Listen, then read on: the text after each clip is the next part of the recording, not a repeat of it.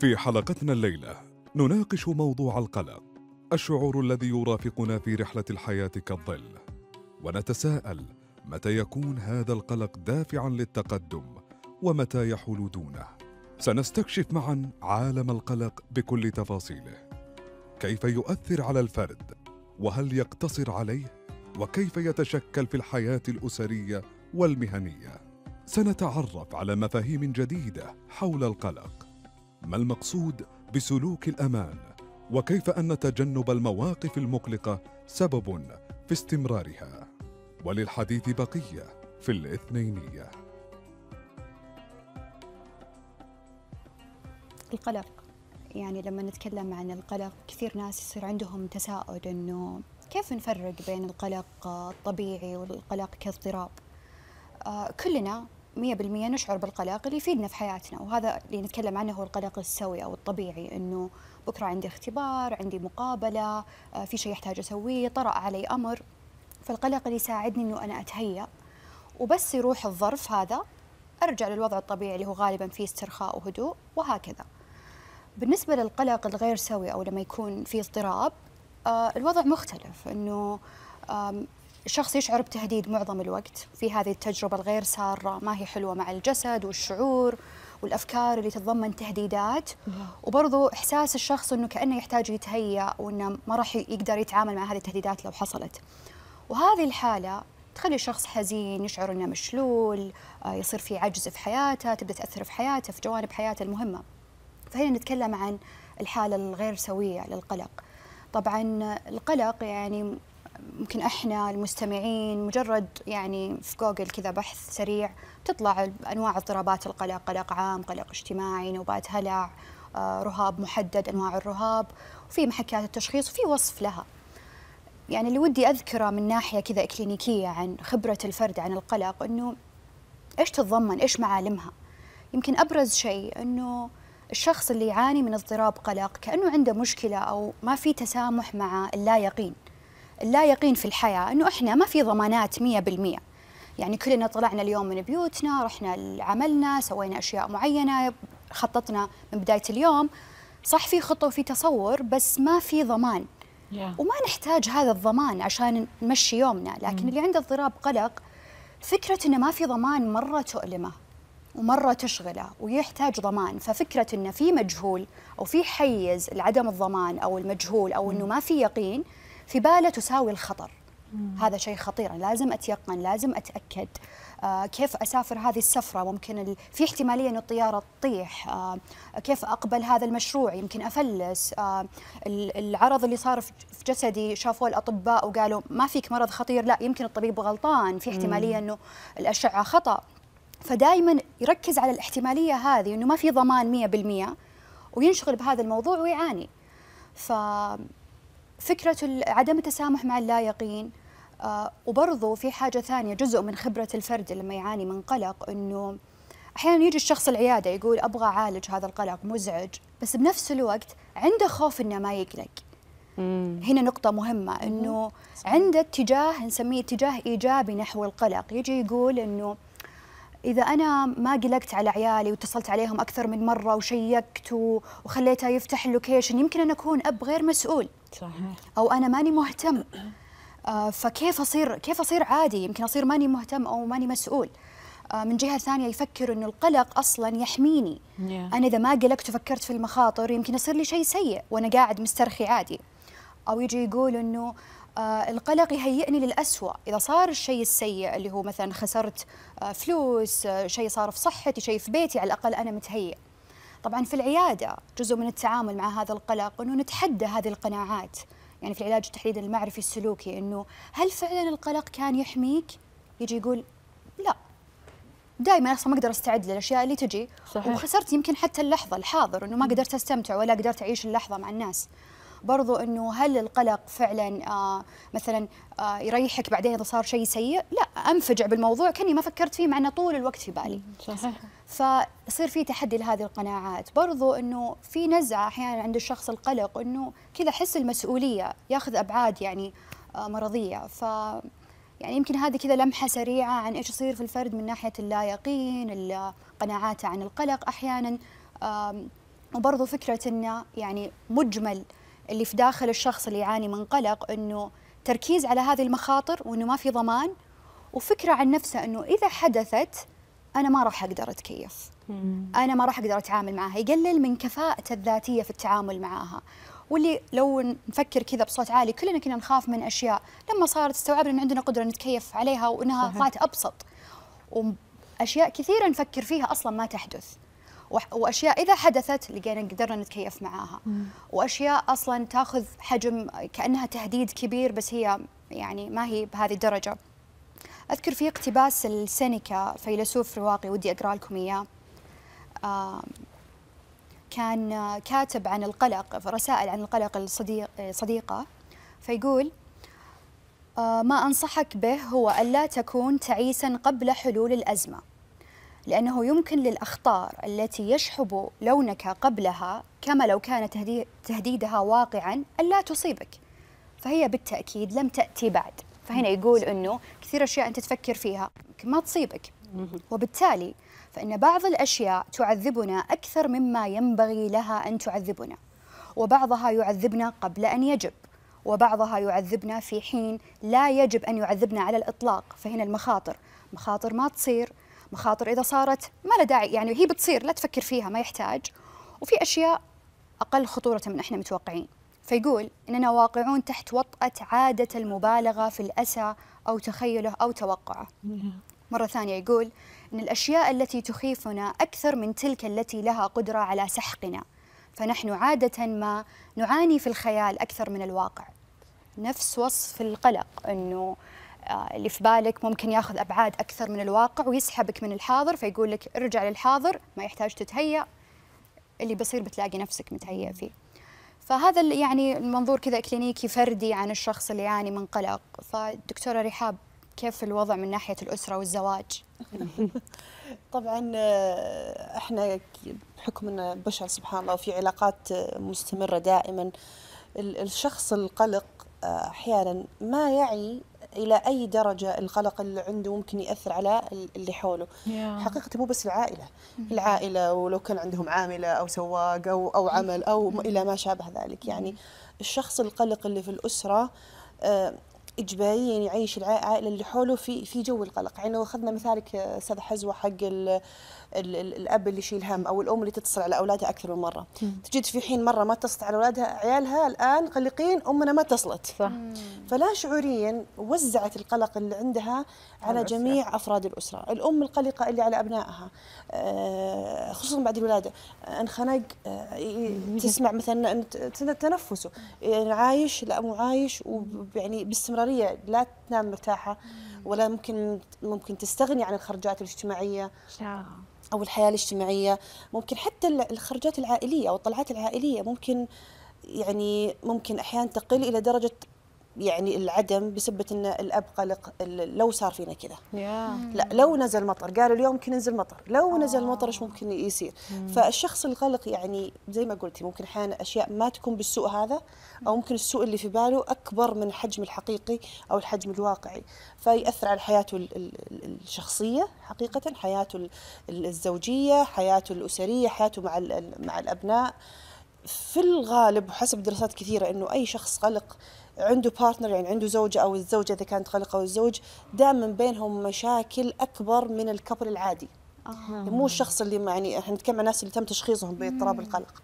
فالعلاقات الزوجية اللي فيها شخص مصنف أو مشخص باضطراب القلق عندهم العلاقة متوترة ويصفونها بعدم الرضا وعدم ال يعني الكوميونيكيشن الواضح أو التواصل الواضح مقارنة بالعلاقات اللي ما فيها التشخيص آه هذا. طبعا أتوقع يمكن له أبعاد ثانية على مجال العمل والأشياء هذه لو حبينا نتفصل فيها أكثر من يعني حاجة. يعني رغم وضوح الفكرة اللي قلتوها الحين إنه شعور إنه في شيء يحصل لكن لا شيء حيحصل ما في أحد يقدر هو في وسط القلق إنه يمنع هذا التفكير. صحيح. فهي تبدو يعني واضحة وسهلة السيطرة عليها لكن الأبعاد اللي تأخذها في حياة الإنسان أكبر بكثير من المنطق لما يجي يحلل الشعور ليش أنا أشعر بكذا؟ كمدخل للقلق في عالم العمل آه، يعجبني وصف للمتنبي عن القلق. يقول أرق على أرق ومثلي يأرق وجوى يزيد وعبرة تترقرق. النقطة المهمة هنا هي مثلي يأرق يعني المتنبي رابط القلق بالطموح. وهذا اللي إحنا دائما نواجهه في استشارات العمل. شخص بطموح شديد جدا. أحيانا تصنف تايب A personality. أخذ القلق معه أبعاد مرة كبيرة. يعني نادرا ما يبداوا الناس بالخبرة الفردية. لو وصلوا للاخصائي الإكلينيكي قبل فحيكونوا ارتاحوا من شيء كثير. إذا وصلوا لي أنا قبل ما يتعرفوا على وجود القلق أو ارتفاعه عندهم لهذه الدرجة فحيكون في فترة لإقناعهم إنه إنه الموضوع الآن لا يخص العمل. قصتك مختلفة. فلما زي ما تكلمتي حزوة إنه المجتمع يسميها صفات جيدة أنت طموح أنت منتظم أنت أوقاتك جيدة أنت مهتم أنت مسؤول. قبل يمكن في 1950 صار التصنيف هذا من cardiologist من أطباء قلب. والمضحك في هذه الدراسات حق التصنيف type A و type B personality إنه اللي سووا لها fund اللي سووا لها آه، رعاية هم شركات التبغ ليش؟ عشان تبعد التهمة حقت جلطات القلب عن التدخين. فصاروا يسووا آه فسووا دراسة إنه إيش اللي يسبب أمراض القلب من وجهة نظر غير التدخين. خلينا نشوف شيء ثاني. فكانت بداية التصنيف هذا حق type A و type B وطلعت D وطلعت C وطلعت أشياء مرة كثير. لكن type A هو شخص طموح آه منضبط جدا آه عنده آه عنده رغبة لا تنتهي في التفوق تنافسي.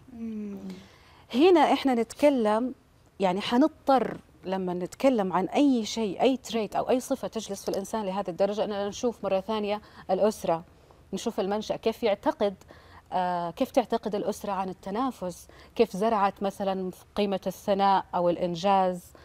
ففي كل مرحلة أتعامل فيها مع أي أحد في طموحه لازم أرجع للشيئين هذه.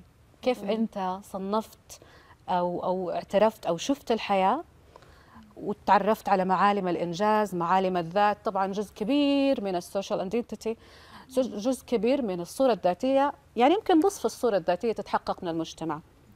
عشان نقدر نقول إحدى والآخر. خلال هذه الدورة يتشرب الإنسان مفاهيم قلق مرة كبيرة يزيدها مكان العمل. من الأشياء اللي, اللي قريب في كم جهة قمنا يعني بتقديم استشارات لهم كان ملفت إنه في مكان واحد حصلت عدة جلطات في ليفل محدد. هذا ما يحتاج بعدها إنك تسوي دراسة للصحه النفسيه في المكان. لأنه هنا في وضوح إنه في مشكلة هنا المؤسسة كلها كعينة من المجتمع تمر بشيء مرة كبير. ويبان بعد كذا مظاهر القلق على أفرادها. ممكن زي ما تكلمتي إنه حتى العاملة في المنزل حتلاقي المؤسسة من أولها لآخرها في في تأثر بهذا القلق. عظيم. يمكن نقطتك إنه ذكرتي إن الشخص ممكن يكون مثابر مسؤول. يعني في صفات أو سمات إيجابية أو كويسة نافعة لا تساعد إنه يحقق أهدافه وتنفع المكان ككل. نفس الشيء ترى الشخص اللي عنده قلق أحيانا آه، يعني الأسرة تجيبه لما صار في عجز وصار يتعارض مع مصالحهم بس ترى هم استفادوا منه فترة طويلة صحيح. إنه آه، إذا وكلناه مهمة نعرف بيسويها على أكمل وجه. فهنا كأنه بين الفرد وبين المجتمع كيف المنظومة نفسها تبقي على هذا القلق أو تعززه. Yeah. آه بس بالنسبة لك يعني هاجر أنه متى يكون إنه ممكن كلنا نقلق في بيئة العمل صار فيها تغييرات أو مشاكل أو كان رئيس معين صعب يأثر على البقية. آه بس متى يكون القلق والله خرج عن السيطرة أو ما هو طبيعي أو ما هو نافع؟ حلو. يعني شوية قلق هو دافع السعي. آه من الضروري إنه يكون في شوية قلق في العمل في يسوي ادابتيشن تكيف مع التغييرات الجديدة. متى أنا أقول إنه في قلق يعيق حياة الإنسان؟ لما تبدأ الأعراض الجسدية. شفتي لما قال المتنبي وجوان يزيد؟ يعني وهذا مرة وصف حلو إنه القلق يشعر فيه هنا يشعر فيه في, في الرئة. من وصف من من تفسير كلمات جوى إنها التهاب الرئوي. فأول عرض يشعر به الانسان هو شيء يرفرف ما يقدر يسيطر عليه. كمان يجوني كثير. يمكن الأشياء الاضطرابين المتعلقين بالعمل من اضطرابات القلق هو ال panic attacks اضطرابات الهلع وال social anxiety هي صح ما هي متقاطعة لكن دي الاثنين العمل يطغيها. يعني لو كانت هي آه، بسيطة تتفجر. مرح- مرحلة تتفجر في مم. في الأوضاع حقت المهنة. فعلا هي علاماتها كلها سرعة التنفس ضيق التنفس ال- الأشياء هذه زي ما ذكرتي. حلو وصل المتنبي لذا الموضوع. بس اللي اللي المزعج في الموضوع إنه يقول مثلي يأرق يعني هذا بس للناس الكويسين. آه خلاه أعطاه طابع إنه طابع حلو. بطولة. الاتجاه الإيجابي. وزي كذا المجتمع كله. وزي ما وصفت الأمهات اللي قلبهم مثلا مرة مهتم. فالمجتمع يعيب. يعيب كثير من السلوكيات المطمئنة. على الهادي. إيه. كانه ثقافتنا شوي أحيانا إنه ممكن تعزز هذا الموضوع لأن في حماية وفي أشياء إيجابية بس آه لازم نفرق متى بدا يصير اضطراب والشخص قاعد يعاني. أحيانا ما يبين. يا. أو بيبدون يلاحظون بعدين الناس إنه لا والله فلان كثر. إحنا علميا أساسا عندنا يعني في كثير دراسات صارت على القلق بالذات. آه، السؤال اللي يجي هل هو فعلا هل هو شيء متوارث؟ ولا هل هل يعني هل هو شيء بيئي؟ ودراسات كثيرة أجريت وجدوا إنه في جزء منه ممكن يكون وراثي. موروث إيه. وراثي. يعني لاحظوا في دراسات كثيرة إنه إذا أصيب الشخص بالقلق أو الاكتئاب تحت سن العشرين في عمر مبكر غالبا ما يكون وراثي. لكن هناك عوامل كثيرة في الحياة الآن ممكن تؤدي إلى إن الشخص يصاب بالقلق. آه، لا قدر الله حادث آه، فقد الشخص فيه الحركة آه، عنف وأبيوس مثلا في مرحلة ال- الطفولة يا. مثلا خسارة شخص مثلا وظيفته الطلاق في بعض الأحيان. ففي عوامل بيئية تؤدي إلى القلق. الآن اللخبطة اللي ممكن تصير في المجتمع إنه آه، ممكن الشخص يكون فعلا متوارث للقلق.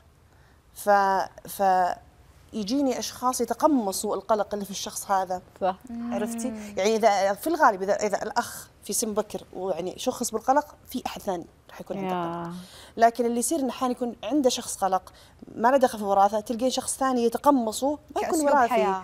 في يعني ممكن يصير في لبس في الفكرة انه. هنا انه وراثي. لا هو مو آه، وراثي. أنا من كثر أنت الأشياء اللي, اللي تنشئة. بطريقتك القلقة فممكن الشخص خلاص يأخذها كجزء من شخصيته وجزء من من من حياته فعليا ويمارسها فممكن يكون في لبس. بس هي فعليا ممكن جزء ممكن جزء وراثي وممكن جزء آه بيئي. إحنا مكتسب. دائما يعني مكتسب. دائما حتى إحنا نمزح في حياتنا العاميه نقول جانا القلق ذا واللي يا قلق انت صح ولا لا؟ صحيح. ففعلا إحنا ما وصفنا الشخص هذا إلا لأنه سويت كذا يثير فعلت كذا. يثير شعور القلق بأنه انجزت كذا فعلت كذا يعطيك إحساس اللي آه، فعلا. صح.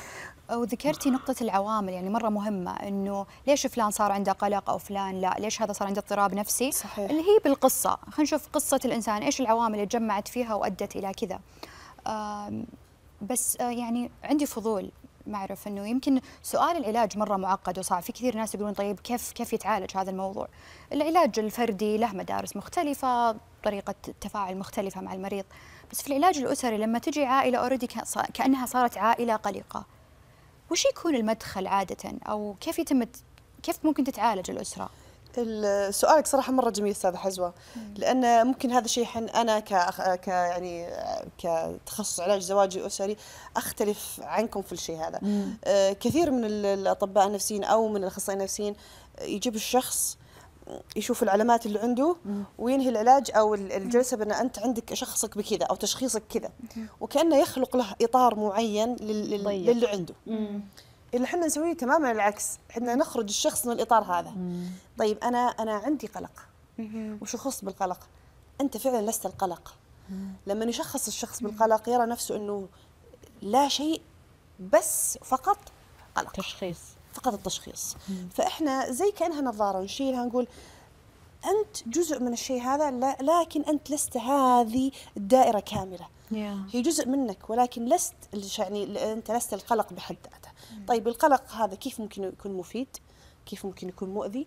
كيف ممكن يساعدك تتعامل مع أسرتك؟ يعني إحنا نحتاج أب فعلا آه، يحرص إنه في عندنا طيارة نلحقها. ونطلع المطار بدري مثلا. نطلع لكن قبل ما خمس ساعات. لكن ما نحتاج نطلع قبلها بست ساعات مثلا. فكيف نسخر اللي عندك بطريقة تهدف إلى إنها تفيد الأسرة، الأسرة فعليا تلقى إذا عندها شخص مصاب بال بال بال بت- بتشخيص القلق آه، أحيانا ما تعرف تتعامل معه. لأن الشخص بحد ذاته أحيانا ما يعرف يعبر عن هو وش يبغى. ما يعرف يعبر أنا ترى أنا هذا قاعد يعني يسبب لي القلق. رجاء لا تسووا كذا أو راجعوا هذا. فيكون في مس كوميونيكيشن جدا عالي. أحيانا نوضح الصورة بين إفراد العائلة. ترى هذا يساعد هذا ما يساعد. أحيانا إحنا في الجلسات ال- ال- العلاجية. أحيانا تجيني كل الأسرة. الأسرة كاملة موجودة في العيادة. فلما الأب أو الأم أو الابن مثلا يسمع وجهات النظر من أطراف مختلفة يصل إلى حقيقة هو ما قد سمعها قبل صحيح. يصل إلى مرحلة وعي هو ما كان يدركها أساسا. فالوعي هذا وسبحان الله الإنسان ونس وصل إلى مرحلة وعي ما تقدر تأخذها منه مرة ثانية أنت الآن عندك الوعي هذا أنت عرفت الشيء هذا فما حيسبب لك نفس اللي كان يسبب ما. راح يسبب لك إنك أنت الآن عندك وعي مختلف Yeah. وعلى اساسها نتعامل مع جميع أفراد عظيم الأسرة. آه، أتذكر آه، يعني سبق وحضرت جلسات علاج أسري كمتدربة آه، وشفت كيف أنه كذا كأنه تنزل سكينة على الأسرة لما يستوعبون لما يصير هذا الوعي أنه هم في هذا الإطار المعالج يحط لهم طريقة كيف أنهم يتحاورون ما يقاطعون بعض يسمعون بعض للأخير يتأكد أنه فلان. وش سمعت يعني يطلب مثلا من. الزوج قول الزوجة إيش قالت؟ في البداية يستغربون هذا الكلام أنه ترى سمعتها قالت اللي قالته لا قولي وش فهمت؟ لما يقول الفهم فهم ثاني كأنه في أحكام أو تجارب معينة تعيق أنه يسمع هي إيش قاعدة تقول. فيصير يحسن التواصل هذه الخبرة كأنها ساعة ونصف من الجلسة تحسن التواصل بين الأسرة اللي يؤدي التواصل الكويس بيؤدي إلى تراحم وتعاطف بيؤدي إلى أنه شوي شوي كذا تغيير ناعم يصير ثقة. فعلا. ثقة في- نوايا أفراد الأسرة البعض ما في غضب متنامي. أحيانا إحنا نبني فكرة إن المفروض انت فاهمة أنا أنا إيش أبغى المفروض انك انت عارفه أنا إيش أبغى. المفروض. حتى أحيانا في العياده لما اسال شخص آه، الزوجة والزوجة. طيب إيش تبغى من من الطرف الثاني؟ يقول أنا قايل لها ق- قبل كذا محتاج نعيدها. لا نعيدها. لأن الشخص الآن الآن في المجلس هذا أو في العيادة يسمعها بطريقة مختلفة. صح. قد يكون لديه تساؤلات ما يقدر يسألها في المنزل. بحكم طبيعة العلاقة أحيانا تكون علاقة شوي ما هي يعني بالسلاسة اللي تكون في العيادة ما في عنصر الأمان. فالآن أنا أقدر أطلب وأقدر أسأل وأقدر أستشف منك أشياء ما قدرت أستشفها في السابق. فهذه برضه مهمة. فأحيانا أنا أف... وش وش فهمت من كذا؟ أحيانا نفس الفهم يكون خاطئ. صح. وعلى اساسها تبنى أشياء يم- كثير خاطئة. يمكن هذه أكثر حاجة سائدة حتى في العمل اللي يسمعه الإنسان متأثر بشعوره تجاه الآخر نظرته صحيح. للسلطة نظرته للأحكام للحدود للترقيات ثقته بنفسه.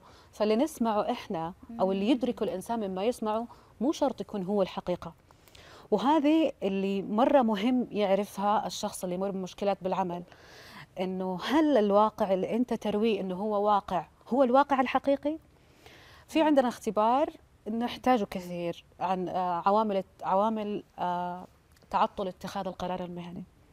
يعني إيش الأسباب اللي تخلي ذا الإنسان ما يقدر يتخذ قرار مهني؟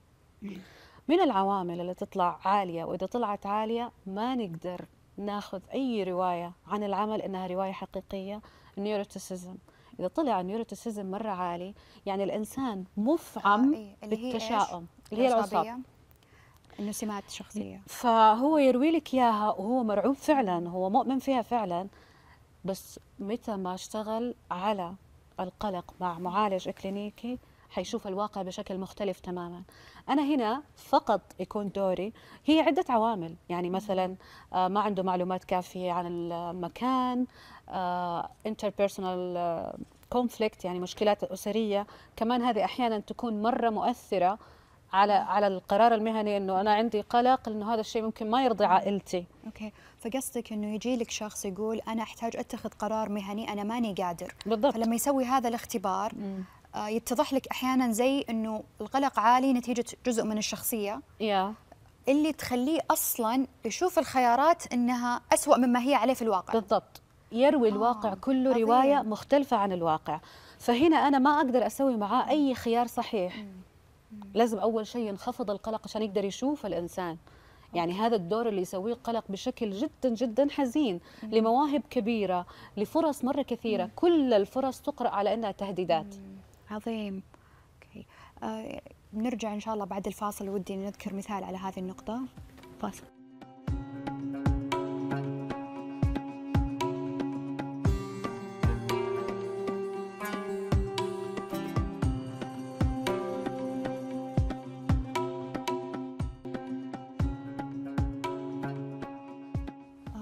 كلامك هاجر بخصوص اتخاذ القرار إنه يجي لك شخص آه، كمستشارة علم نفس مهني آه، يعني آه، مختصة في قضايا المهنة اللي تصيب الإنسان من ناحية نفسية أو تهمه من ناحية نفسية.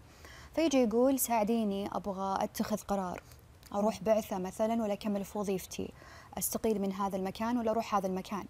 فأنت قاعد تقولين إنه في لما يكون الشخص قلق أصلا آه، يجي نظرته لروايته للخيارات اللي عنده ورأيه فيها كأنه بفلتر القلق اللي هو المخاطر زي نعم. لما قلت لكم إنه هو بس مركز على المخاطر ويقلل من كفاءته إنه كيف يتعامل معاها. هذا ذكرني يعني بمثال إنه يعني لو مسكنا مثال شخص عنده بعثة أو آه، وظيفة وبنوضح كيف إنه يكون عنده قلق طبيعي وقلق غير طبيعي. في القلق الطبيعي مثلا بيفكر إنه وظيفتي الحالية لي سنوات فيها أخذت خبرة عرفت السوق بس الرواتب الترقيات فيها مرة ضعيفة فكوني بطلع بعثه في جامعة مرة مهمة وبكتسب خبرات هناك وعلاقات فبيكون خيار لي مثلا جيد لنفترض حلو. هذا الخيار اللي يبغاه. فليش لا؟ والآن ما عندي التزامات فأقدر أروح أدرس وأرجع وأبدأ من جديد. فبيفكر كذا في الخيارات. أو مثلا يفكر في إنه يقعد في هذه الوظيفة إنه في أمان أنا قريب من أهلي ما له داعي مكان جديد وشوي شوي بنتقل لجهة ثانية. يتصور كذا الخيارات ويشوف إنه في مخاطر تمام؟ ويعني بسيطة الأمور ياخذها.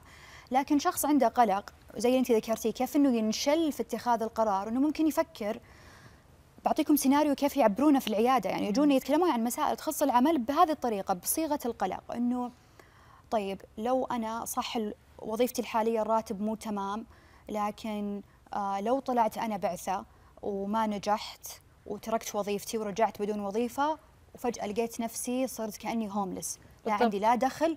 يتخيل نفسه فعلا ممكن يقول أصير هوملس مع إنه عندك أهلك عندك في أسوأ الظروف. هذا شيء لا يمكن يحدث. مكفول. فيجي يقول لا إنه برجع ما يحط في باله إنه أنا عندي خبرة بلاقي مكان ثاني. إذا ما ضبطت هذه ال- البعثة عادي أنا عندي رصيد. يتصور أشياء نهائية خطيرة. أو لو تخيل الخيار الثاني وأنا بجلس في هذه الوظيفة يقول آه بصير تعيس ما راح أترقى يمكن بعدين يغيرون يمكن بعدين أنرفض. فيجلس يفكر في كل مجال في الأمور النهائية الخطيرة وينشل عن اتخاذ القرار ولا يشوف في نفسه قدرة على التفاعل مع أي تهديد ممكن يحدث.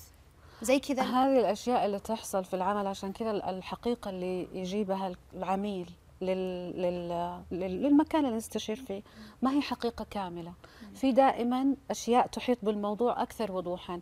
يعني ممكن آه، يروي يروي عن العمل إنه مغلقة فيه الفرص تماما بس هو محبط لدرجة إنه ما شاف الفرص ابدا. ممكن يفكر إنه لو رحت بعثة للمكان الفلاني آه، والدتي حتجلس لحالها وحيكون مرة شيء حزين. آه لو فيبدا يكبر الأمور العادية اللي هي من من من الحياة. بس يحمي نفسه وعقلنا مدرب على حمايتنا بترك التحديات بكل أشكالها وألوانها. لكن التفكير الكارثي اللي يصير إنه ممكن أنا أتشرد لو رحت أرجع بدون أي فرصة. ممكن لو غيرت مهنتي الآن ح أو بدأت بزنسي ح آه، إيش كانوا يقولوها على الديون ال- ال- شو اسمه اللي يدخلوهم في نسيت اللي هو حملة إيه عشان إيه. إيش اسمها لازم فرجت. أيوه. فكانوا يقولون إنه إذا بدأت فرجت. business حيدخلوني فرجت. تسمعيها من الناس extreme فهذا الوصف أعرف إنه أوكي القلق تمكن من الإنسان لدرجة إنه ما يشوف الواقع بتفاؤل لو في كلمة فرق بين ال الواقع زي ما هو والواقع اللي بنظر الشخص القلق هو التفاؤل والتشاؤم. التفاؤل أحيانا يحتاج الإنسان إنه يقصر نفسه عليه قسرا وينتشر كذا داخل ال- ال- الثقافة. لما يجي لك شخص زي كذا ولاحظتي إنه خلاص يعني توغل في القلق إيش تقولي له؟ أول حاجة هو إنه آه، يعني بدون وجود أدلة تقنع هذا الشخص اللي هو type A personality إنه هو يحتاج مساعدة. الموضوع صار قلق. صعب إنه يقتنع. لا هو يشوفها أمور حقيقية. وكلنا لما نشوف زوايانا نشوفها facts only ما نشوف إنه فيها أي شيء ثاني. فإذا كان في اختبار في شيء ممكن يكون زي reference إنه أنت الآن أول شيء محتاج تشتغل على القلق. جلسات meditation أشياء تخلي جسمك يرجع. إعادة ضبط المصنع. يرجع يرى الواقع بهدوء. وهذا يمكن الأشياء اللي اللي مهم أعرف فيها مو- موضوع الأسرة لأنه في أسر ما عمرها شافت الواقع بتفاؤل فما يعرف الإنسان البديل الثاني الهادئ. كيف؟ صحيح صحيح. يعني ولما لما ذكرت ال- الأسرة الآن أتذكر عميل مرة آه، أسرة يعني زوج وزوجته كانوا عندي في العيادة. كان الزوج عنده قلق ومشخص بالقلق وتجيه panic attacks في ال highway اللي هي إيش ال highway عندنا؟ أعطيني الخطط مثال على ال high زي الدائري مثلا. اللي عارف إنه ما فيها مثلا ما يقدر يوقف باريحيه. ما يقدر ياخذ exit فكان لأنه صادف إنه الزوج مرة جاته panic attack وهو فعلا على ال highway وحس إنه خلاص shortness of breath ما يقدر يتنفس ما يقدر يتصرف. آه، لو دخت لو انصدمت فبنى سيناريو معين في مخه لو لو لو صار. فصارت الأسرة أي طلعة حقيقه تتطلب منها انهم ياخذوا ال highway تلقي الأب يرفضها. يا الله. الأسرة ما كانت تدري. الزوجة فعليا ما كانت تدري أنه سبب رفض الطلعات المستمر وخصوصا اللي لازم ننتقل فيها من نقطة A إلى نقطة B يتطلب أن ناخذ ال highway أنه ممكن يتعرض ويصير موقفه أمام زوجته موقف ضعيف. فما كان حاب يرسم الصورة هذا عند زوجته هي ما كانت على دراية أبدا بأنه سبب رفضه أنه هذا وليس أنه أنا يعني ممكن الزوج. تفهم أنا أنا ما بطلعكم الله. ما لي خلق. آه، مو اليوم بعدين. فكانت الزوجة دائم يعني دائمة الزعل من ليش ما تطلعنا؟ ليش ما تطلعنا؟ ليش ما تطلعنا؟ لما فهمت إن فعلا حقيقة إنه أنا مو أنا ما أبغى أطلعكم أنا هذا اللي أتعرض له وهذا اللي يصير لي على ال highway ف- فاشتغلنا كثير عليه يعني على ال- الأشياء هذه لما فعلا تمكن إنه يطلع مرة ومرتين وثلاثة ويكون أحد معاه جنبه في الكرسي الثاني بحيث إنه لو جاتني نوبة الهلع هذه ممكن الشخص الثاني يقود السيارة. عني. لو صارت النوبة هذه لدرجة مرة مره مرات طلع ما صار أي شيء. ف okay. فجلس يعني قال أنا ما صار لي أي شيء. عديت. هنا صار خلاص. ف... face يا. فوصل لقناعة مختلفة إنه لا مو القلق ترى فعلا كل حاجة. أنا قدرت لو لمرة واحدة أنتصر على القلق أو أرى القلق بطريقة مختلفة. عظيم. ذكرت نقطة آه إنه طبعا مرة مؤلم إنه الشخص ممكن يعاني من حاجة وقاعد تأثر على العلاقات هنا في مشهد الأسرة. شفنا كيف الشخص اللي يعاني مو قادر يتعامل مع الموضوع مو ما يتواصل معاهم يوصل لهم إيش اللي صاير كيف يأثر على الكل والعلاقات. صحيح, صحيح. وبرضه شفنا هنا كيف يشوف القرارات المهنية والواقع المهني ويصير يعاني في اتخاذ قرار ويمكن يترتب عليه يعني أشياء سيئة.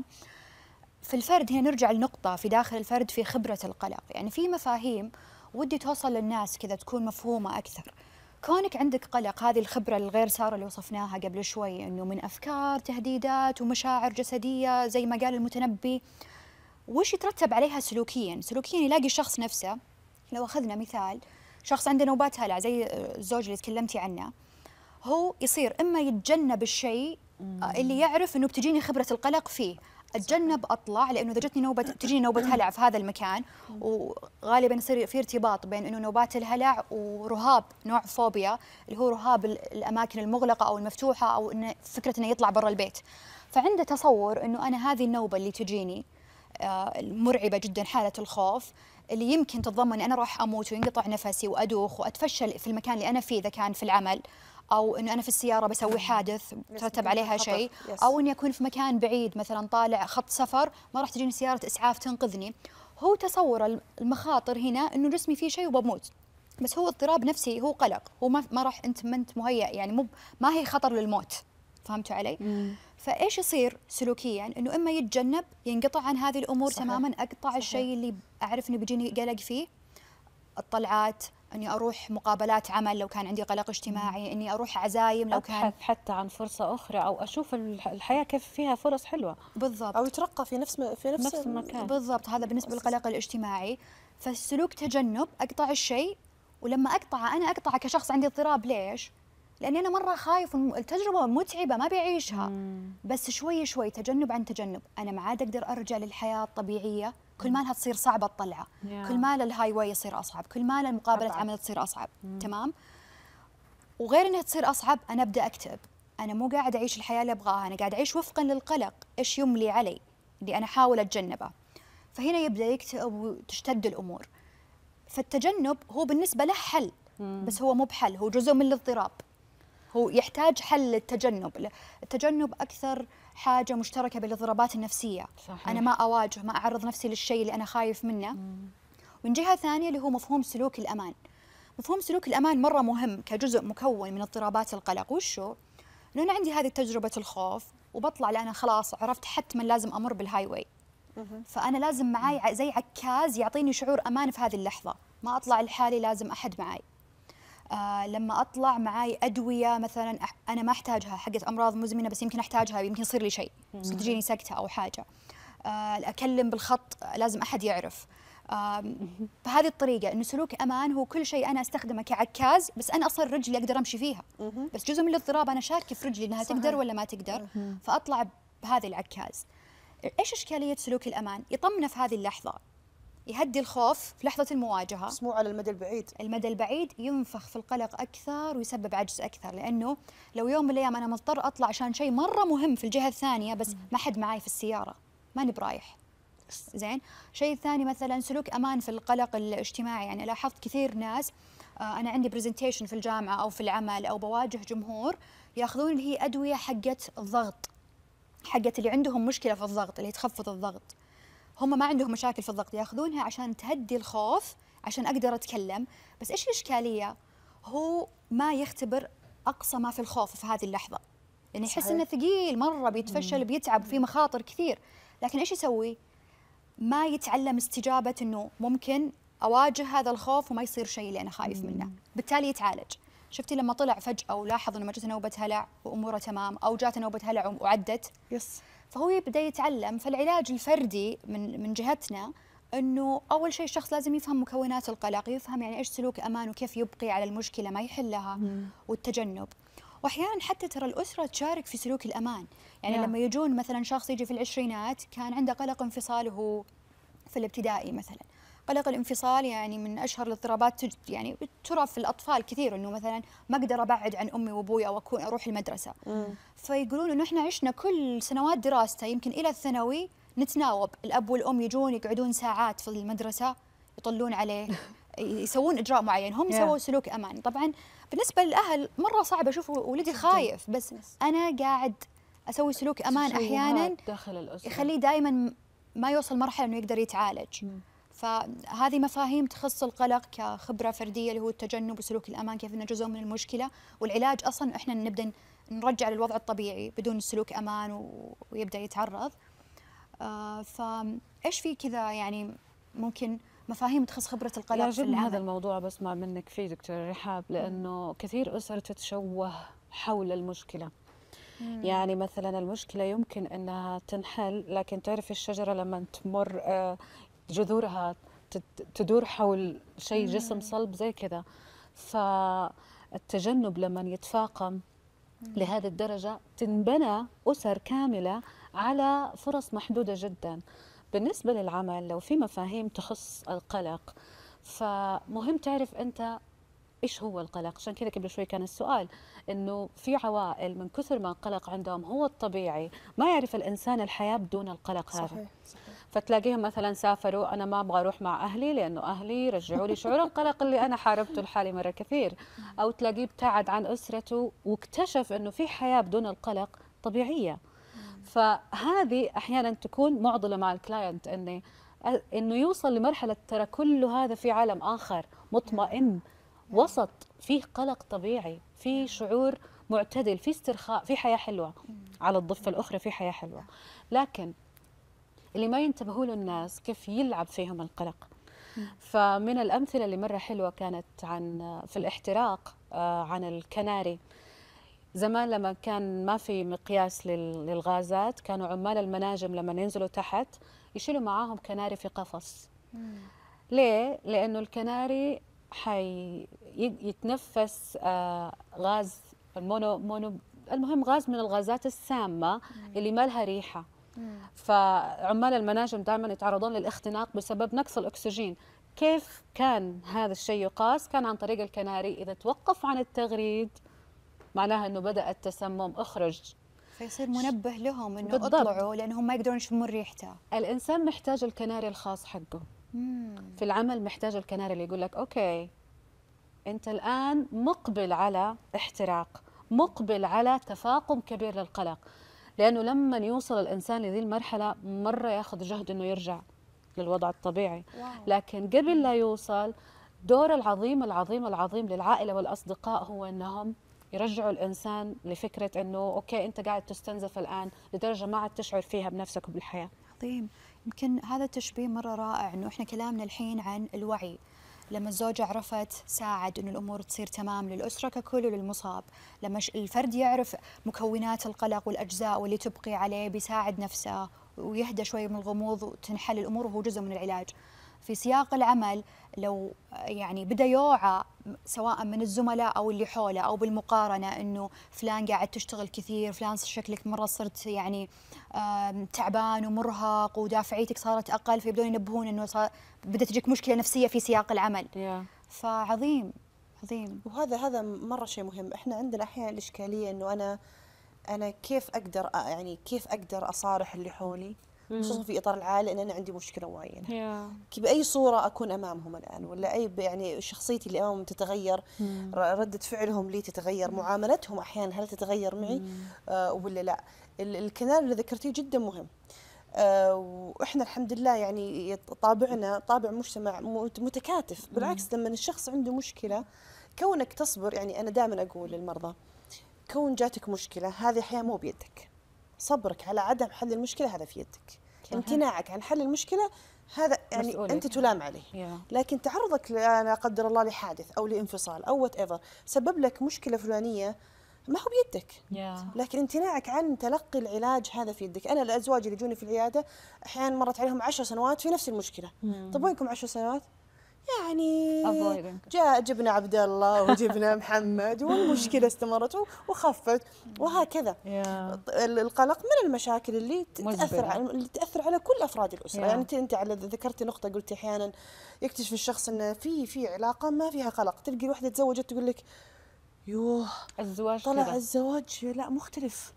توقعت بهوشني بيقول لي يلا بسرعة وخلصي وافعلي اكتشفت إن لا الأمور سهلات يا. الطابع اللي يرسم في العائلة ممكن يكون لك يعني قناعات وأفكار صح. تبنى عليها أشياء كثيرة في حياتك. صح. وحال من المشكلة إنها تكون الأفكار هذه خطأ أو السلوكيات هذه خطأ. اللي ما يساعد الأشخاص اللي عندهم القلق فعلا إنه ما يطلب المساعدة ما ما يعني ما يصرح بالشيء هذا يا. أنا عندي.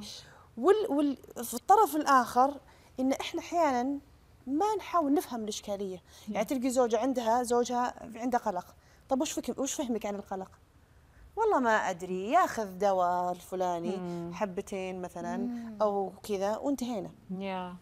ما في الوعي الكامل في أفراد الأسرة إني أنا أقدر أفهم الشخص اللي أمامي تعاطف. أعرف كيف أتعامل معاه بحيث إن كلنا نعرف نتعامل معاه هذا الشيء حزين لما يكون الوضع في في في, احتمال فقدان التعاطف وهذا يقابل كثير من الشخصيات الطموحة جدا. اللي تبدأ فعلا تنغمس فيكون مطالبة الطرف الآخر زوج أو زوجة اترك هذا الشيء. طب هذا الشيء كل حياتي هويتي. صحيح, آه، صحيح. أنا أنا كذا يعني نتكيف نحل المشكلات بس يكون طلب الزوج أو الزوجة اترك هذا الشيء بالكامل. دخل الأسرة في في مأزق آخر إنه مستحيل هذه هذه my identity هويتي هذا أنا. فبعض الأمور بعض الشخصيات بعض الطموحات تحتاج من كل العائلة إيمان فيها. أحيانا السؤال الصح اللي كيف أقدر أساعدك؟ مو أترك الوظيفة الفلانية. بالضبط. ال- ال- الوظيفة بحد ذاتها أحيانا قد تكون هي الإشكالية صح في بعض الحالات الوظيفة بحد ذاتها ليست الإشكالية الشخص فانا أنا. أنا كيف أقدر أساعدك؟ يا. هذا السؤال بحيث إنك لو أنت احتجت مثلا أحد يكون معاك في حالات النوبات الهلع ولا في. حالات ال- لما يحس ان قلقه عالي، أنا هنا أقدر أكون لك سند ودعم. لأن أحيانا okay غيرت وظيفتك هذه بس أنت شخص مصاب بالقلق، أي وظيفة أخرى بترجع نفس تروح لها. راح تواجه نفس الإشكالية. صحيح. إحنا ما غير إحنا إحنا ما وجدنا الحل،. إحنا غيرنا ال context بدل ما. أكون الموضوع في الطاولة هذه صار في الطاولة هذه. على نقطة. على نقطة المشاركة أحيانا في رجال كثير يجون يقولون ما أقدر أقول لزوجتي إنه أنا مثلا صحيح. عندي فوبيا إني أستفرغ وابدت تأثر على حياتي في فوبيا مرة كذا غريبة يمكن لو الناس سمعوها إنه أنا خايف إني بستفرغ في مواقف معينة وجزء من القلق اللي هو يعيشه يكون عنده قلق وفوبيا من الاستفراغ انه قد استفرغ في موقف معين وانحرج فيصير دائما يفكر وأنا خايف الآن في الاجتماع هل بستفرغ وبتفشل قدامهم؟ هل بستفرغ قدام؟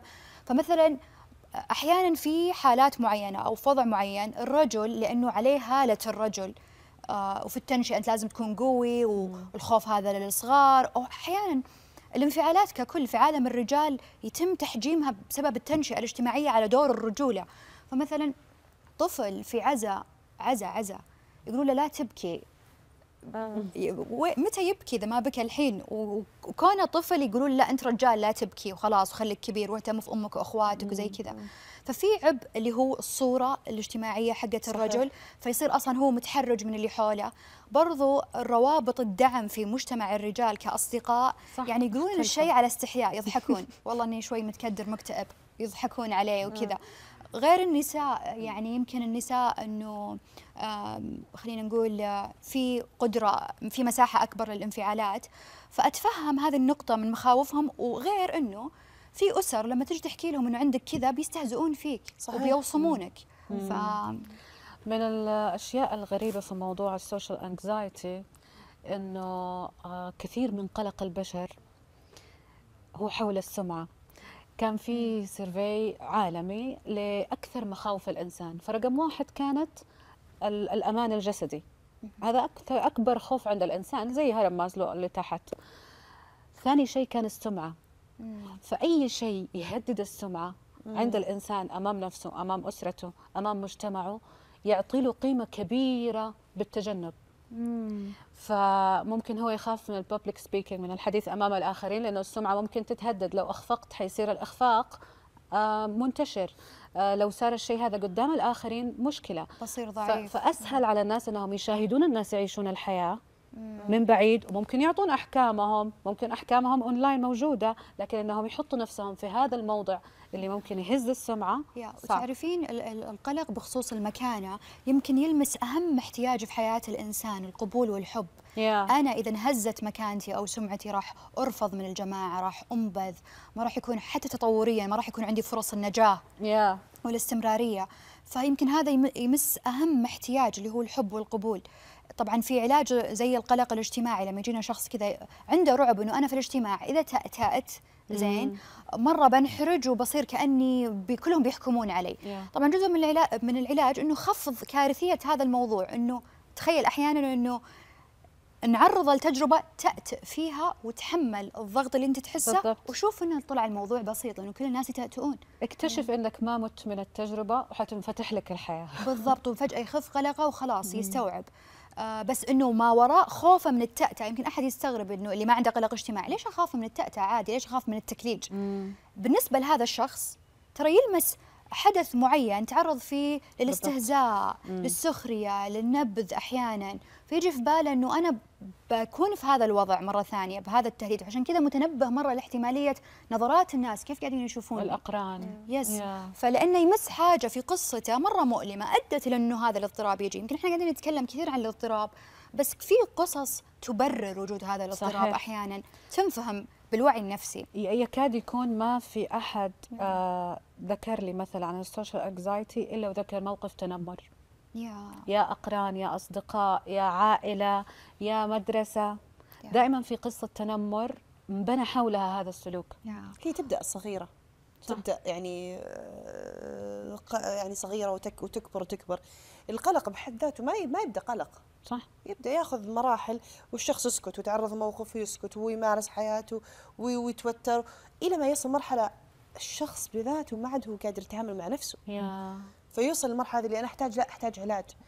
وكثير ناس يتوقع أن إذا أنا لجأت الآن للعلاج المفروض في غضون جلسه جلستين إيه. أنا أكون إنسان رايق قلقي لا ما عاد هو بالمعدل العالي. عالجيني أحيانا كثير ناس تسال يعني كم جلسة لازم أجي؟ على أساس إن نخفف يعني خلاص إني أكون كويس.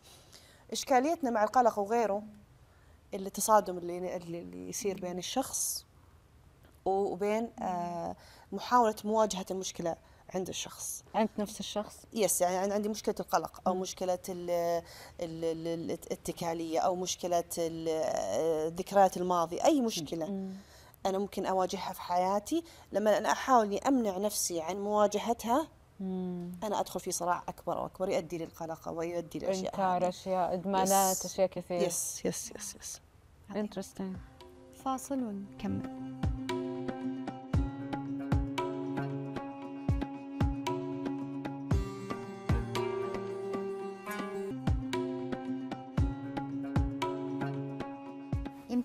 كثير ناس يسمعونا الآن يفكرون إنه طيب ليش صار هذا كله؟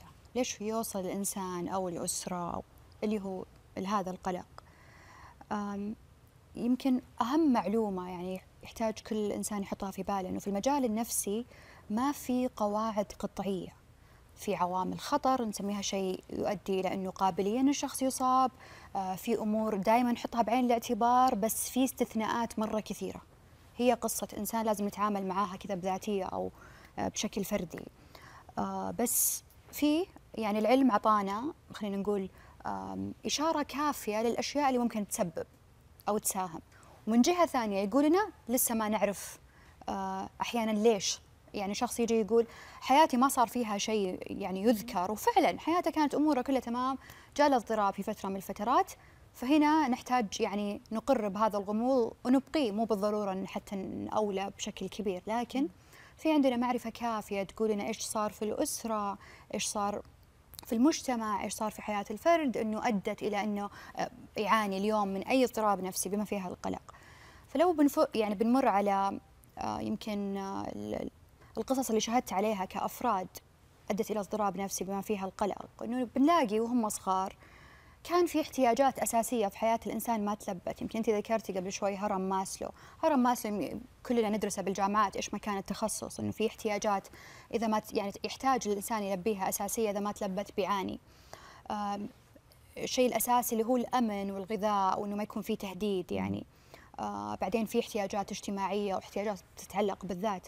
ففي كثير من القصص المشاكل النفسية والإضطرابات النفسية الاحتياجات ما أخذت مجراها سواء بسبب عائق اجتماعي اقتصادي أو أسري. آه، فلو نعطي مثال برضو إنه آه، ما تم مراعاة هذا الإنسان اللي قاعد يكبر سنة ورا سنة في هذه المرحلة وش أهم شيء بالنسبة له؟ فيمكن من أهم يعني دائما أسمعها هذه القصة إنه تلاقون رجل في الأربعينات من عمره يتكلم عن إنه أنا وأنا صغير أتذكر ألمي لما كنت أبغى أطلع ألعب مع عيال الحارة أمي تقفل الباب لأنها قلقة تقول لا اجلس. أو أبوي يقول ما له داعي أنت رايح تدرس ولا رايح تكون صداقات؟ ليش تروح التجمع هذا؟ في عمر اللي مثلا من الابتدائي والمتوسط وطالع إنه في مكو يعني احتياج ما تلبى أو مطلب لهذه المرحلة اللي هو تكوين العلاقات والصداقات.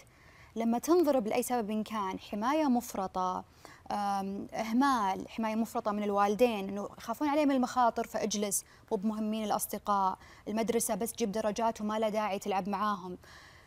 هم ما راعوا هذا الإنسان تكوينه وش يحتاج فيه. هذا الشخص وهو قاعد ينمو. لما يكبر ويكون عنده صداقات ومجتمع ومرتاح معاهم آه وي- ويستعد للزواج يحتاج هذا التمهيد اللي أنت وأنت صغير وش صار لك.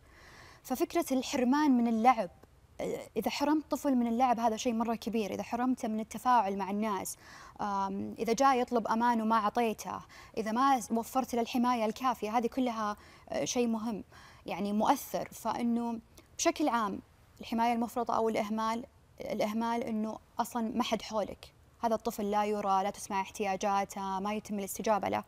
آه، بشكل مرة مؤذي يكبر يحس إنه قلقان في شيء قاعد يفوته أو حزين.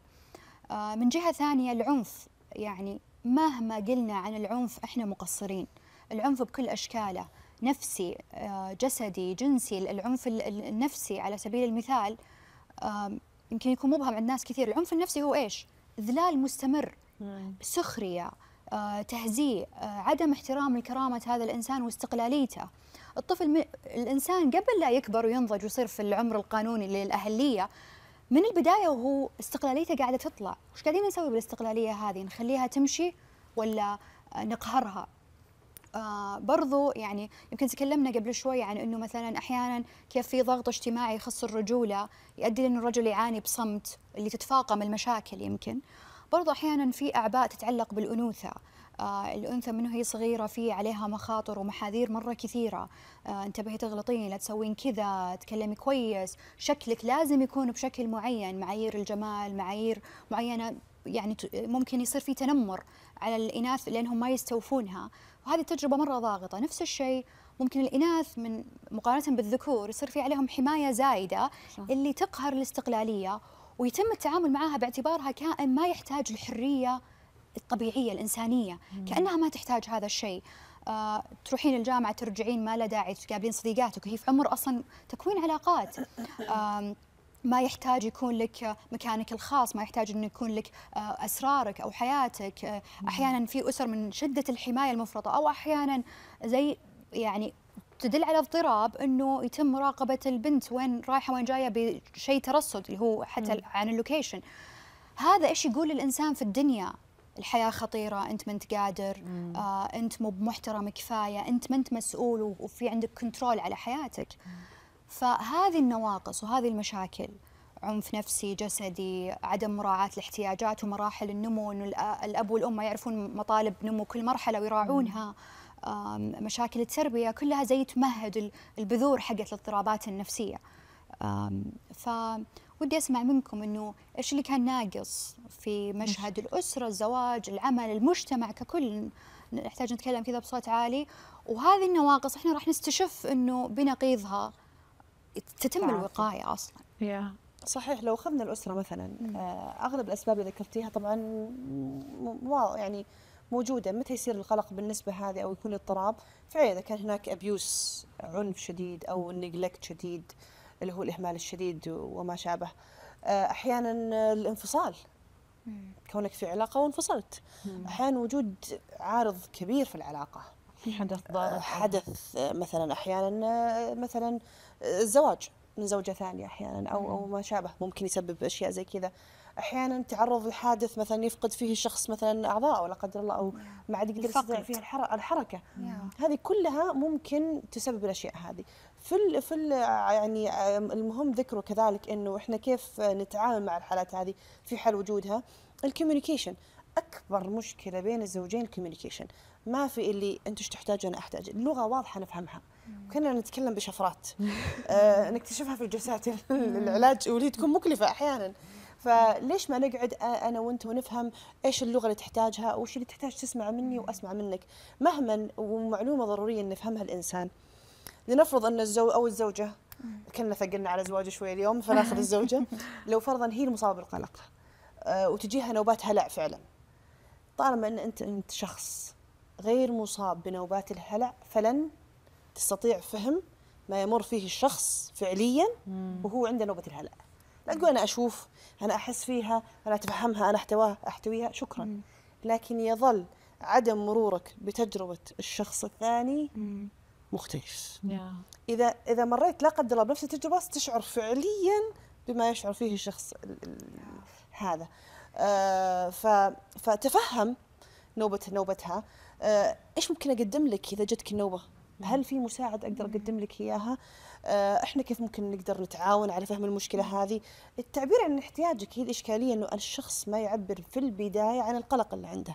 الين؟ يسوء الين يسوء ويأثر على العلاقة. هل يعرف الإنسان احتياجه في البداية؟ أحيانا عدم معرفة الشخص فيقع هنا ال- ال- يعني العاتق. الآن إحنا أصبحنا مجتمع يعني ال- ال- العلم فيه سائد أكثر من السابق صراحة. صحيح. صارت صحيح إنه كثير من المعلومات اللي موجودة في السوشيال ميديا غير صحيحة غير دقيقة لكن على النقيض في أشياء كثير صحيحة كذلك. Yeah. ممكن الشخص أحيانا إذا هو فاقد يعني مهارة إنه هو يكتشف إنه عنده قلق ممكن اللي حوله ينبهه. وأحيانا كثيرة ترى يكون الشخص عنده مشكلة أو شيء وتيجي واحد يقول له بالله شيك على الشيء الفلاني. صحيح. أو راجع كذا ويكتشف فعلا إنه عنده إشكالية سبحان الله في في شيء معين. فالوعي اللي حول يعني اللي عند الأشخاص في العائلة مهم إنه يساهم الشخص اللي يعني ياخذ إذا كان الأب كبير في السن أحيانا ممكن. أو الأم. أحيانا يرفض العلاج في الحالة هذه. صحيح. ممكن يروح معاه عشان يطمنه. عشان يحس إنه it's okay ترى كلنا نمر في المرحلة هذه يتأكد من علاجاته إذا اضطرنا ياخذ علاجات. وما شابه نعم. طبعا. تعرفين كل كلامك يشير إلى كذا قيم كأنها لازم تكون موجودة أو إذا فقدت بتصير مشاكل. تواصل بالضرورة في الأسرة التعاطف والتراحم إنه التكاتف نحن موجودين وقاعدين نحاول نفهم بعض ونكون كويسين لبعض.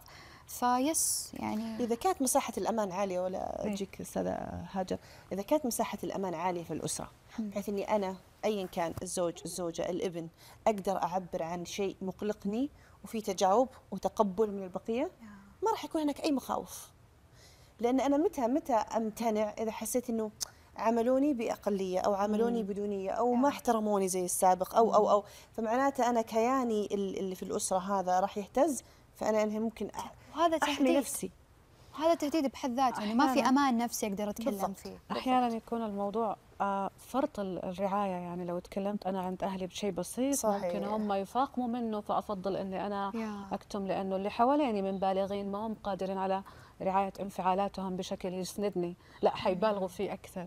فممكن يكون الموضوع نقيض. بالضبط. لو في شيء مفقود أو ناقص في مشكلات القلق في العمل فهو الاعتراف بالحقيقة. يعني ممكن الإنسان يروح أماكن مرة بعيدة لكن ما يقدر يقول إيش حاصل بشكل حقيقي.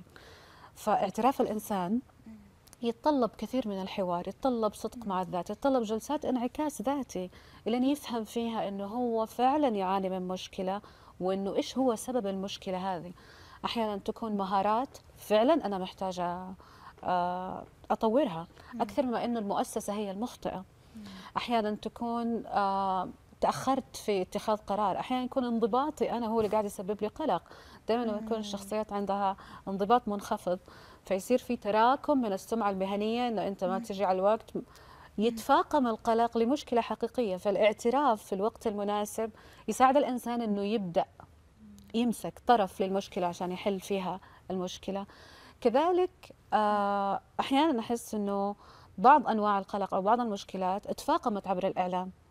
يعني أمس أقرأ إنه تيك توك في هاشتاج ال generation Z اللي هم ال generation أو الجيل اللي ما آه ما احتك نفس الاحتكاك اللي قبل ال social media. يعني حياته اونلاين أكثر من حياته الخارجية أو الواقعية. فيصير في نقص تجارب حقيقي. في هاشتاج الرهاب الاجتماعي بالإنجليزي ال social anxiety في 3 بليون post 3 بليون رسالة عن الموضوع مسوين حتى تغطية لأنفسهم آه وهم يجيهم ال panic attack وهم يجيهم نوبة هلع. فهنا أنت تزيد تصورك عن رعب العالم الخارجي.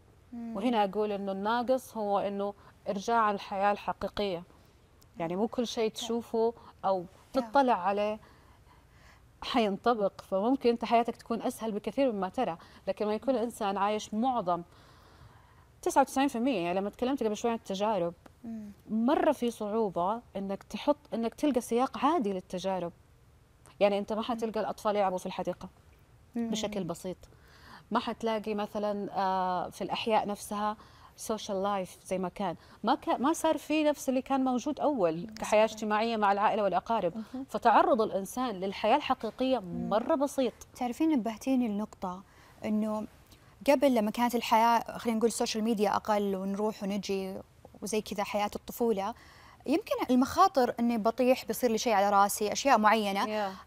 تدرين شوفي المفارقة؟ إنه في بيتنا إحنا معزولين وما في مخاطر خارجية بس في مخاطر هذه الشبكة وتدافع الناس فيها بلا حدود. نحو بعض الأشخاص زي مثلا التنمر الإلكتروني مرة مرعب. يعني أنت في بيتك ممكن تتعرض للتهديد. Yeah. تذكرت قريب مثلا اللي هي اللاعبة الجزائرية mm. إيمان mm. الملاكمة كيف إنه تعرضت الحملة فيها كراهية وفيها تنمر, تنمر. مرة شيء مؤلم إنه شخص حتى ممكن يكون حامي نفسه وما هو متعرض لمخاطر الواقع. بعيد. بس تجي له وهذا يمكن أكثر شيء مؤلم بالنسبة للناس اللي عندهم قلق اجتماعي. احتمالية الأذى اللي يجي من الآخرين. فاللي ناقص في الواقع واللي يؤدي لاضطرابات أحيانا هذه القسوة إنه وال social media وحياتنا الجديدة في العالم الافتراضي. قوانين إيه؟ ضبط شوي لهذا الموضوع. يعني من الأشياء yeah. اللي الحين شائعة جدا على المدارس إنه يطلع لكل مدرسة حساب gossip يتكلم عن الطالبات. يعني أنا في عهدي كان أقصى شيء ممكن يصير لسمعتك إنك تتكلم عليك المدرسة. الآن تتكلم عليك تويتر كامل أو إنستغرام كامل. فمرة مرعب إنهم آه، ممكن يتداولوا حقائق بعض زي كذا. بهذا المستوى المرعب من أتوقع علم النفس الاجتماعي ودراسة السلوك في الواقع في الفضاء السيبراني مرة شيء مهم إنه آه، يعني يمكن القوانين الجرائم الإلكترونية الأمور هذه الوعي عند الناس يحاول يخفف من هذه المشكلة لكن هي مشكلة مجتمعية جديدة. تؤدي إلى اضطرابات ومعاناة فعلا حقيقية وأتوقع يجب التصدي لها أو محاولة فهمها والتقليل منها بس إنه مخيف كيف ممكن يكون الإنسان قاسي. كذا يعني من خلف الشاشة. فعلا. الجماهير ممكن تصير مسعورة في لحظة وتسوي اغتيال للشخصية. فهذا برضو من الأشياء اللي تخوف. الإنسان إنه يكون نفسه. يا تعرفين على طاري العمل يعني يجوني أحيانا كثير آه، أشخاص في فترة اللي هو اختيار تخصص أو مجال يكون عندهم مثلا معاناة نفسية نتيجة إنه نفس كلامنا الوالدين مثلا إما ما يراعون مطالب معينة أو المجتمع يحط ضغط على الشخص في هذه المرحلة إنه عندك يا طب يا هندسة. مم. هذه فكرة كانت موجودة ويمكن لا لا تزال. لا تزال. أنت شاطر عندك طب أو هندسة. سالفة إنك تبغى مثلا فنون أو غيره لا مثلا. إنه هنا نجي النقطه إن كيف الشخص مثلا في هذا العمر المفروض يكون عنده استقلال ويختار حياته ويحس بهذا الكنترول. بس الواقع مو قاعد يساعده لاي نعم. سبب كان. يمكن حماية. الأهل خايفين عليه من بطالة أو غيره أو إنه ما يكون دخله كويس بعدين يؤدي لمشاكل. يعني ما أعرف إذا توافقيني هذا الشيء إنه ألاحظ كثير إن مفهوم الشغف أنا ما أتكلم عن شخص ما عنده شغف أتكلم عن شخص جاي عنده شغف والأسرة ملاحظين وعنده توجه معين بس يفرضون عليه مجال معين لأن الأنفع بالنسبة لهم. مؤلم كيف إنه ما في تقدير لفكرة الشغف. وإن الإنسان إذا كان شغوف بمهنة ومشى فيها ترى هذا خير مرة كبير. فكيف تشوفين هذا الموضوع من عندك؟ يعني من الاستشارات المهنية إنه اختيار الشخف مقابل اختيار الشيء اللي عليه دخل أو أو وكيف يأثر على صحة الإنسان أو نفسيته؟ أحيانا يكون مبكر جدا إنه الإنسان حتى في ال 18 يخ- يكتشف شغفه. فالعشرينات كلها المفروض إنها تكون لاستكشاف تجارب مرة نعم. كثيرة. ممكن حتى تكون درست تخصص بس لسه مو. يعني ما انت واثق إنه هذا هو التخصص المناسب لك وتحتاج إنك تشوف. عندك مساحة إنك تكتشف شغفك لكن الشغف إذا كان آه، عبى حياة الإنسان وعنده موهبة فهو أقوى من أي تخصص. صح. يكفي الشغف إنه يكون وحده محرك لكن إذا كان الإنسان قادر إنه يستخدمه لاقصاه ما يكفي الشغف لحاله. لابد مع الشغف من عمل جاد جدا مبكر جدا صبور جدا. لكن لو جبت شخصين شخص اتبع خطة موجودة مثلا بدون شغف وشخص ترك كل الخطط وراح لشغفه مباشرة وعنده الموهبة يتكرس فيها بكامل الطاقة هذا الشخص أداؤه أفضل. هذا حيقدم للإنسانية أصلا أشياء أفضل. أحيانا كثيرة وفي عمر مرة مبكر يبان هذا في اللي أقول لكم عليه اختبارات تحديد التخصص إنه interpersonal conflict أكثر أحد يقع عليه رأي العائلة هو آخر العنقود. كل العائلة تشارك فيصير هو مو عارف. كل العائلة تشارك اتخاذ القرار. يعني من جد ممكن تنهز صورة الذات لأنه ممكن أخوي قال إنه أنا أنفع طب ممكن أختي قالت لا تعال تخصصي. ممكن أخوي اللي دفع للجامعة قال لي ادخل كذا. فيصير متحكم بحياة الإنسان وهذا يناقض أهم شيء للنجاح المهني حرية اختيار في الأول. يا فكرة الحرية الاستقلالية التمكين. قد إيش مجتمعيا أسريا قاعدين نمهد للأفراد أنهم يمرون بهذا النمو النفسي اللي هو السواء. بعدين نلاقيها هذه الشخصية السوية اللي اتخذت قرارات وهي قدها وتعيش الحياة بتحدياتها. فيمكن هذا هو هذه الأمور إذا اهتزت أو انقصت يعني بتؤدي لاضطراب هذا ناقص فعلا في المشهد وناقص بشكل مرة كبير آه. ينعطى الإنسان حرية الإخفاق. يا. حتى الخطأ هذا شيء يعني حق مفروض إنه مكفول. يمكن يدخل تخصص أو يتخذ قرار بعدين يتراجع عنه ويمشي مفروض إنه بالعكس نشجع هذه الذات اللي قاعد تستكشف وبتلاقي بالضبط. نفسها وتمسك خط. آه، في الثقافة اليابانية في مفهوم يعني شيء مدهش إنه في كلمة تقول عن هذا الموضوع اللي هو مفهوم الإيكيغاي. آه، يعني معناه سبب الحياة أو هدف الحياة. إنه له شروط معينة إنه في شغف وفي مهارة. عندك شغف بشيء عندك مهارة فيه تقدر تطلع منه دخل. ونافع للمجتمع ومرغوب. فيشجعون الأفراد إنه آه، يعني اكتشف الإيكيغاي حقتك هذه. لأنها يعني في شخص كان رايح يسوي دراسة عن ليش طولة العمر في اليابان ولاحظ إنه آه نظامهم الغذائي الحركة والإيكيغاي هذا شيء موجود إنه هم ما يتقاعدون أصلا.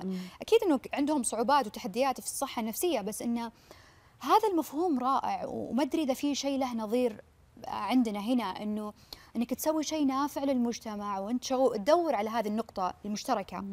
شيء شغوف فيه أقدر أجيب منه فلوس آه عندي مهارة فيه أقدر أطورها وأنا قد التحدي والمجتمع آه يحتاجها اللي بيعطيني معنى. يعني أنا اصحى كل يوم أشعر ان لي دور وأشعر بهذا المعنى اللي هو هذا هو الإيكيغاي مفهومة.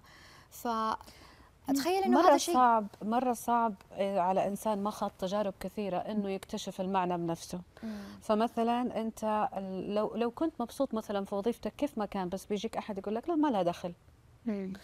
أحيانا كثيرة إحنا قيمنا تكون محاكاة لقيم اللي حولنا فمجتمعك بيعاقبك إذا كانت هذه ما هي منصب ولا دخل كبير. ف آه، وهذا يمكن الضغط على الرجال أكثر من النساء. النساء في شوية حرية أنها تروح ورا الشغف لكن هذه من الأشياء اللي نحاصر فيها بعض. رحلتنا الداخلية والخارجية. الداخلية ترى في صبر كثير إلين ما تطعمك هذه المهنة أو إلين ما الشغف هذا يؤتي ثماره. حتدفع ثمن مرة كبير. بس مسبقا قبل لا توصل. الرحلة الخارجية إنه اصغائك لقوانين المجتمع فقط يبعدك عن الطمأنينة اللي ممكن تلاقيها في الإيكيغاي. مع إن المجتمع تغير جدا وبص- بصورة كبيرة جدا من ناحية تطلعات ال- الأفراد هواياتهم الإيكيغاي. أنا يعني أشوف الآن المجتمع يتقبل الإيكيغاي. صح. آه، ونشوف ونشوف قصص نجاحات جدا كبيرة صراحة ونفخر فيها كلنا.